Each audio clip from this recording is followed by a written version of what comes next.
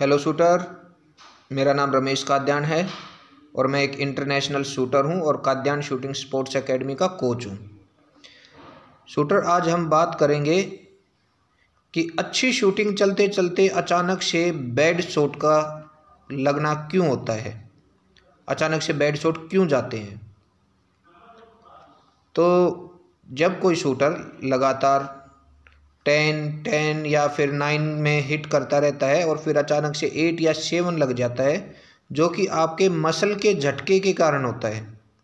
आपका मसल आप rifle shooter हैं तो ज़्यादातर आपका कंधे से झटका आता है या ट्रिगर का झटका लगता है। जो पिस्टल शूटर हैं, उनकी कलाई के झटके के कारण या ट्रिगर के झटके के कारण उनका शॉट एट या सेवन में लग जाता है। तो ऐसा होता क्यों है? बैड शॉट ज़्यादातर उन शूटर के जाते हैं जो हंटिंग शूटिंग करते हैं। एक बार फिर से इसके ध्यान से सुनिए। जो शूटर हंटिंग करते हैं, यानी कि जैसे शिकार में किया जाता है कि शिकार आपके सामने आएगा और आप अचानक से ट्रिगर दबाएँगे और उसको गोली हिट हो जाएगी। इस तरह की शूटिंग करने वाले शूटर के ज़्यादातर बैड शॉट जाते हैं।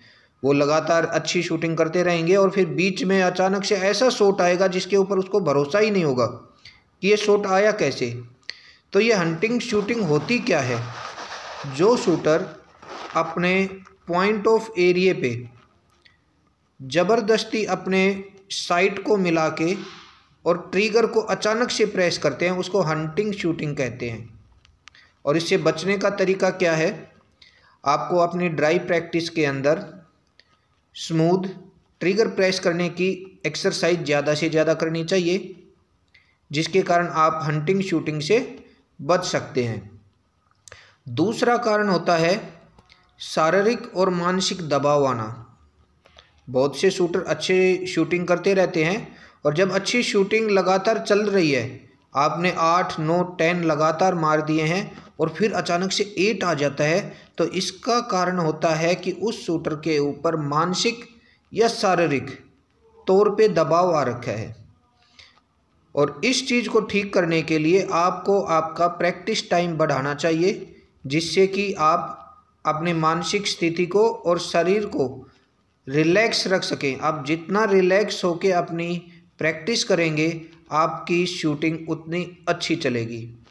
यदि इससे संबंधित आपका कोई सवाल होता है या आप हमारी मदद चाहते हैं तो दो अंतर्राष्ट्रीय शूटर आपकी मदद करेंगे।